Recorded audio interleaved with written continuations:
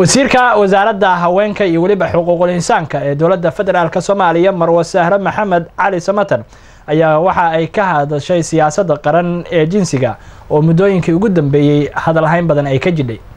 Warbixinta warkan waxaa magaalada muqdisho ee caasimadda soomaaliya ka soo diray cabdirasaaq cabduqaadir.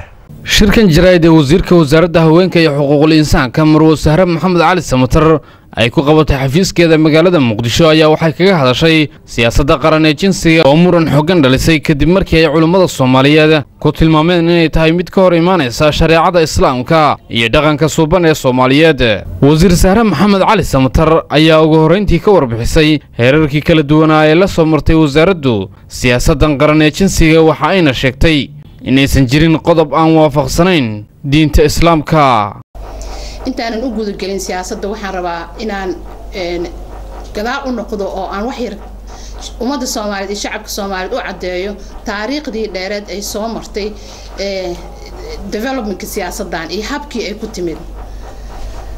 Wasaaraddu waa wasaarad haween iyo xuquuqi insaan. Wasaaraddu waxaa waxaa laga rabaa inay samayso ama diyaarisaba bolisiyo badan siyaasado badan amaba shuruuco badan oo intaba saameyn ku leh horumarka xuquuqi insaanka amaba haweenka. Siyaasaddan bolisigan waxay ka mid tahay waxyaabihii la rabay muddadii sanadkan inaan dhammeyno intuusan sannadkii intaysan dhammaanin. Alxamdulilah waxaa noo suurto gashay inaan ku dhammaystirno horaantii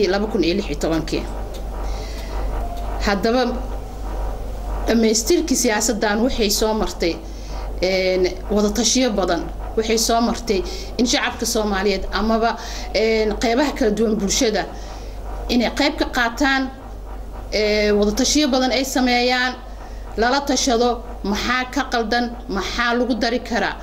Waxaa kaloo lala tashaday culimmada laftooda waa lala tashaday. Waxaa lala tashaday gobolladaa lala tashaday.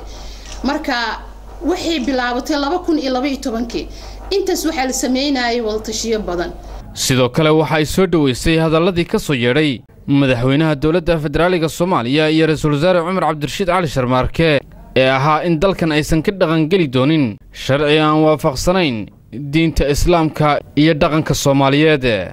Waxaan u malaynayaa siyaasaddan madaxda sare ee qaranka si fiican ayay uga hadleen waxaan rabaa inaan runtii u mahad celiyo madaxweynaha jamhuuriyadda federaalk oo asagana mudane xasan sheekh oo asagana maanta runtii si fiican cod dheer ku gaarsiiyey.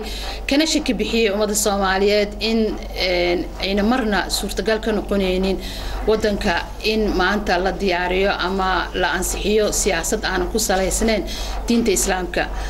Sidoo kale ra'iisul wasaaraha asagana aad ayuu ugu cadeeyey inaynan iyo xukuumaddaba uu ballan qaaday inaynan naga suurtagelaynin inaan ama horkeenno ama aan ansixinaa siyaasado ama sharciyo ka soo horjeeda diinta islaamka. Mar aan weydiiyey eedeymaha ay culummadu u soo jeediyeen siyaasaddan jinsiga ay ka mid ahaayeen in amisom ay dabada ka riixayso ayna ka qayb qaateen diyaarintiisa ayaa waxay ku tilmaantay waxba kama jiraan islamarkaana ay wasaaraddu diyaarisay. Amison waa muxuu ahaa ciidan noo noo jooga markii laga fiiriyo xagga amniga.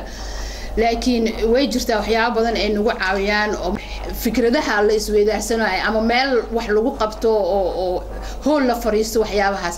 Hase ahaatee haba yaraatee wasaaradda ayaa diyaarisay wadatashiyadeeda wasaaradda ayaa samaysay qofkii technicalka ahaa ama muxuu ahaa qofkii nala shaqeynaya laftirkiisa wuxuu ahaa shaqsi soomaaliyeed. Sidoo kale wasiir zahra waxa ay been abuur ku tilmaantay nuqullo lagu baahiyey baraha bulshada oo sheegayay qodobo ay ka mid ahaayeen inay isguursan karaan dad isku jinsi ah. Waxa ayna dadweynaha soomaaliyeed ugu baaqday inay akhriyaan siyaasaddan qaran ee jinsiga. Cabdirasaaq cabdulqaadir s b c muqdisho